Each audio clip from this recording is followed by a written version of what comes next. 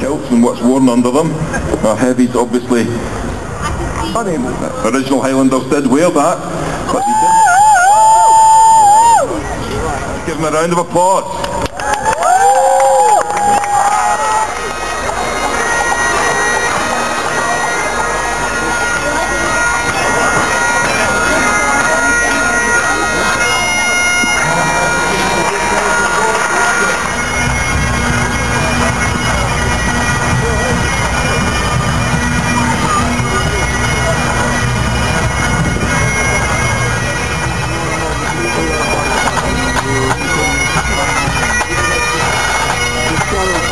to do it for a while. Let them work it out.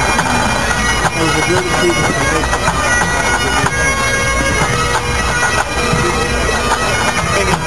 All weekend, I don't know if you heard too, but in the other qualifier,